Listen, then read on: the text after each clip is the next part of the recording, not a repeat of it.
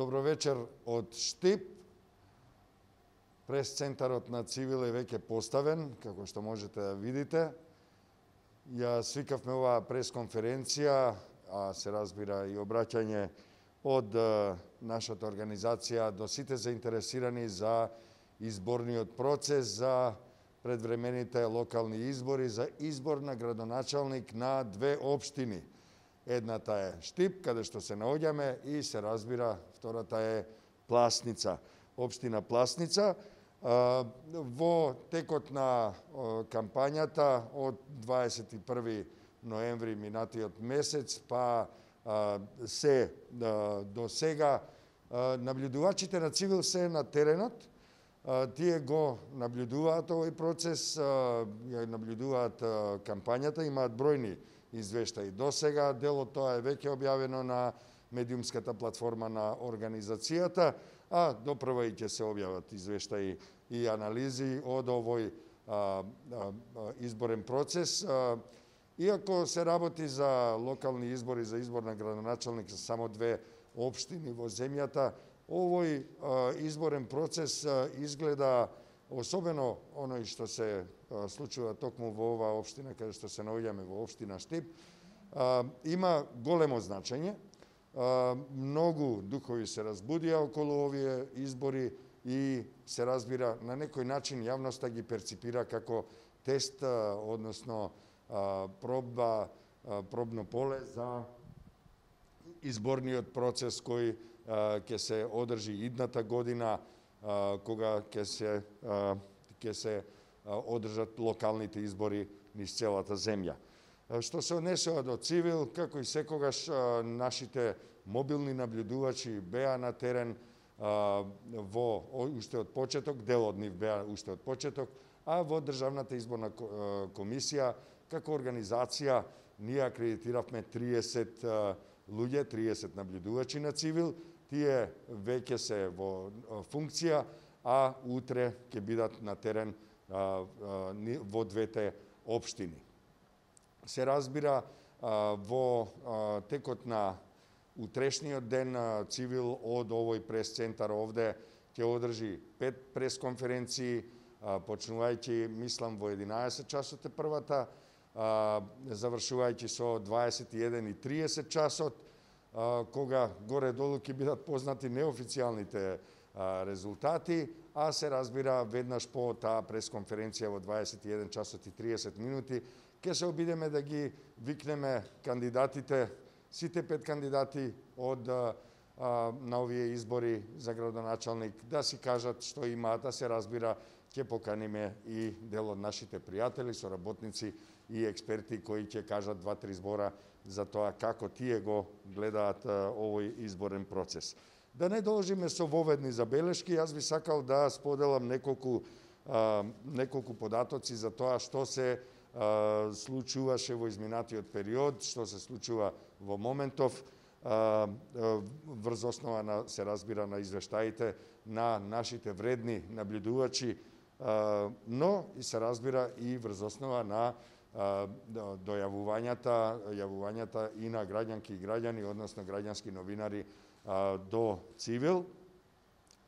Пред се да започнеме со Пласница, зошто не би, наблюдувачите од Пласница известуваат дека изборната кампања до сега била мирна, без посебни инциденти и проблеми и без масовни собири.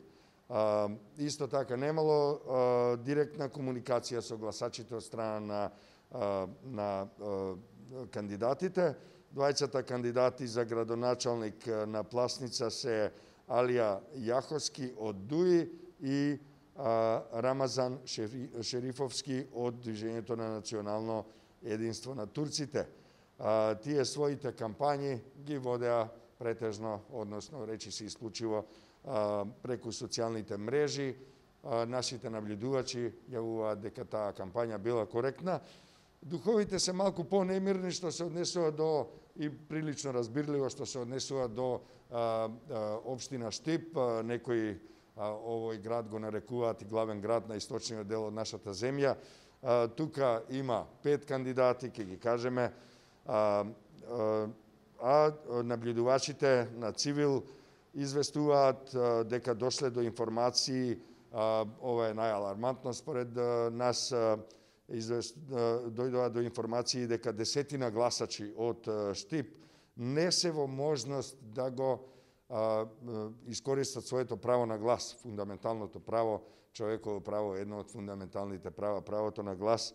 А, конечната бројка не е позната, меѓутоа тие не можат да дојат до ситуација да гласаат заради тоа што во моментов се во самоизолација, треба дополнително и да им се направи COVID-19 тест, а, а не се во она бројка на луѓе кои ќе гласаат, кои гласаа всушност вчера во текот на вчерашниот ден, бидејќи станале позитивни по истекот на рокот. Ова според Цивил е кршење на правото на глас, се должи на недоследности, на недостатоци на законската рамка, законската регулатива и според нас е уште еден доказ за тоа дека законската рамка, се разбира ни институциите, не се грижат буквално за секој поединец, за буквално за секој глас да биде а, испочитуван, односно секој граѓанин или граѓанка да бидат да ја добијат можност за гласање соодветно на нивните права. ова бројка се разбира не е позната, околу 10 луѓе само дошле нашите наблюдувачи до таа бројка, меѓутоа таа бројка може да е и повисока.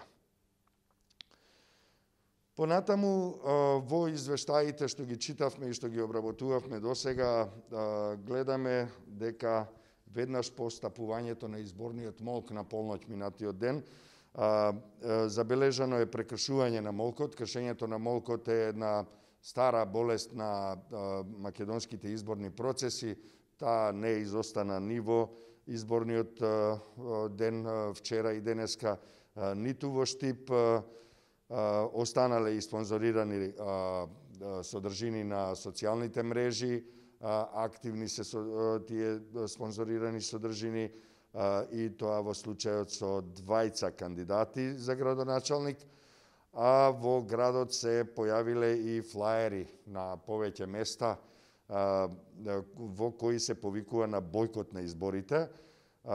Нив ги, според нашите наблюдувачи, некои од, од тие сторители се идентификувани како представници, односно припадници на одредена политичка партија, која се разбира не можеме сега во изборен мог да ја да кажеме.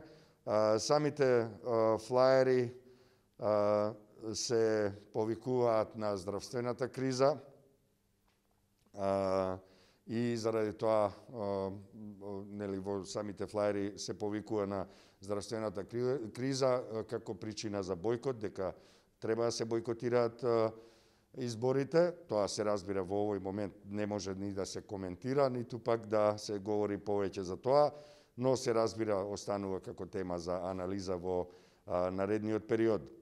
Во текот на изборната кампања се вели во извештаите, а, неколку дена пред изборите за градоначалник на Штип, искинати се и плакати на еден од кандидатите. Речи си сите плакати поставени на зидот на градскиот стадион во Штип се биле искинати, постојат и фотографии на оваа тема, се разбира редакцијата на Цивил Медија, што е во состав на организацијата Цивил, ќе објави материјали и за ова, меѓутоа откако ќе заврши изборниот молк. Партијата која стои зад кандидатот на својот Facebook профил ги обвини членовите и активистите на еден од против кандидатите, меѓутоа не приложи докази за тоа. Еден кандидат за градоначалник во Штип користеше и деца во предизборна кампања, тоа е уште еден аларм кој се запали во цивил и секогаш тоа е причина да упатиме апел и повик се разбира и осуда за користење деца во било која смисла на зборот во политички кампањи. Таа партија која стои зад овој кандидат објавила фотографија со кандидатот како држи мало дете во рацете, а не се потрудиле барем да му го заштитат идентитетот на детето на таа кампањска фотографија. Се бележи и лепење плакати на места на кои не е предвидено лепењето плакати, како и врз мурали кои се креација на млади уметници во Штип. Тоа според Цивил исто така е своевиден вандализам, и подеднакво како и кинењето на плакати. На 11 декември во Штип До 14 часот сите 12 пријавени гласачи позитивни на COVID-19 го искористиле своето право на глас. Во општина Пласница немаше пријавени лица за гласање позитивни на COVID-19 или во самоизолација.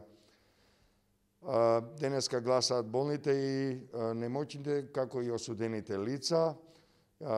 Избирачките одбори во домовите ќе посетат вкупно 66 болни и немоќни лица за петте казнено-поправни институции во земјава формирани се исто толку а, избирачки одбори. А, утре, за утре, еве, утре е изборниот ден, кога во 7 часот ќе се отворат гласачките места, а во 19 часот ќе се затворат и тогаш ќе заврши изборниот молк. Според Државната изборна комисија, во изводите од избирачкиот список на гласање во Обштина Штип запишани се 39.605 гласачи, во посебниот избирачки список што се однесува на лица кои се на привремен престој или работа во странство се запишани 2100 лица, 103 лица, во посебниот список кои се на, на лица кои се во затвор или во притвор запишани се 67 граѓанки и граѓани и лица згрижени во домови, домови за вонсемејна заштита се двајца гласачи. Вкупниот број на гласачи е 41.777 Ако никој од кандидатите не го освои мнозинството гласови, тогаш ќе се гласа и во втор круг на 27 декември. За да бидат успешни изборите на, 13 денеска на 13 утре на 13 декември треба да гласаат една третина од запишаните гласачи а, и, или својот глас да го дадат точно а, најмногу или најмалку, најмалку 13.996 граѓанки и граѓани со право на глас. Во Штип се гласа за пет кандидати за градоначалници и тоа кандидатите Симон Поликарп од Интегра, Сашко Николов од СДСМ, Гоце Ангелов од коалицијата Иднината во наши раце, Лазар Наумов од партијата ТМРО и Трајче Митев како независен кандидат. Тоа е се што имаме подготвено за ова прва пресконференција. Утре имаме уште пет пресконференции со почеток во 11 часот. Сите се надевам дека ќе успееме да ги пренесуваме исто вака во живо. А, се разбира во пресцентарот во Хотел Лаза, пресцентарот на Сивил може да ги прими и повисите, меѓутоа и лично да бидат донесени информации, материјали и докази за тоа како течел изборниот процес во текот на утрешниот ден. Ако имате некое прашање да дополниме, да одговориме, ако знаеме, повелете.